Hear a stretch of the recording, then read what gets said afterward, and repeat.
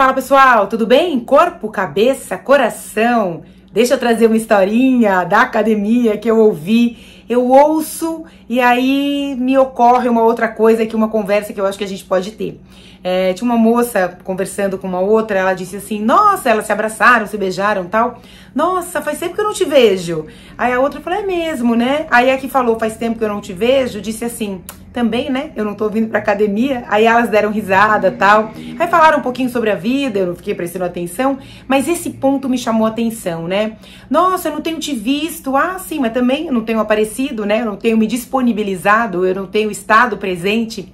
E aí isso me leva a refletir sobre quantas pessoas é, com as quais eu converso têm dito, né? Puxa vida, sabe que outro dia eu tive com uma amiga e foi tão legal, foi ótimo, é, preciso repetir. Isso acontece comigo também, com a gente, né? É, eu acho que é, o dia a dia, a rotina acaba afugentando as pessoas, afastando as pessoas umas das outras. E a gente só vai perceber que quanta falta aquela pessoa nos faz quando a gente efetivamente consegue sair, encontrar e volta para casa cheia de histórias, cheia de referências, com uma certa bateria recarregada, né? E, e eu imagino que o cuidar do corpo, da cabeça, do coração, da saúde, esse autocuidado de que a gente tanto fala aqui, ele é fundamental para que você se reorganize, se reenergize é, dessa forma. E assim tenha mais pique, inclusive, não só para ir para uma academia, para ir fazer seu esporte, é, para fazer alguma coisa para você, mas também para estar presente para as outras pessoas, né?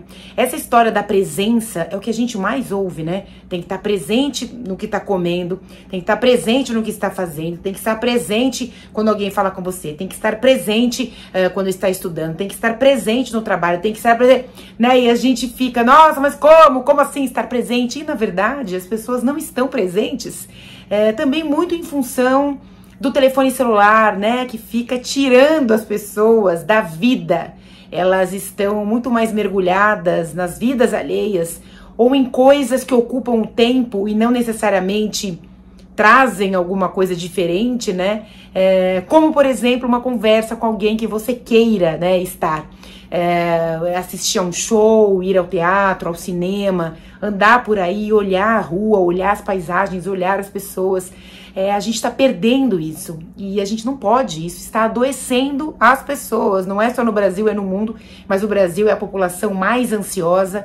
A gente bate aí números impressionantes, né, no uso, no consumo de remédios para ansiedade, para depressão, e a gente precisa falar sobre isso. E o esporte acaba sendo aquela mãozinha, né? E as amizades, Harvard já trouxe essa pesquisa, né, algum tempo atrás, pesquisa feita por décadas com muita gente falando que o poder da amizade para felicidade, para tal felicidade que todo mundo busca, é uma condição número zero. Então vamos, vamos nos disponibilizar, vamos estar mais frequentando os lugares, né? Isso faz toda a diferença na vida da gente. Eu te garanto, é experiência própria. Um beijo, gente. A gente se encontra amanhã. Tchau.